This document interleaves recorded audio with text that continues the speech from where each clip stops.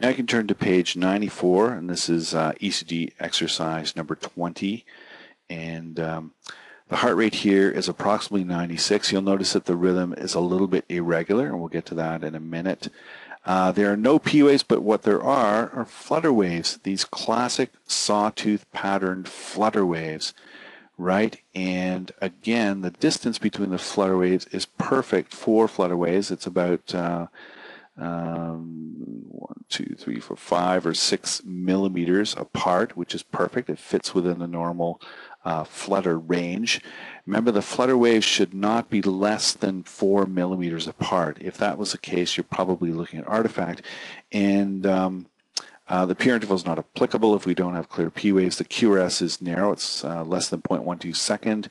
The ratio is variable. Remember I said uh, when you have this kind of a rhythm with flutter waves, um, if the rhythm is variable it, it, or the ratio of flutter waves to QRSs is variable, it probably means that the patient is on some sort of medication that alters um, AV conduction, and that's why we have this variable ratio. The rhythm is irregular, and the interpretation quite simply is atrial flutter with a heart rate of approximately 96 with a variable conduction ratio.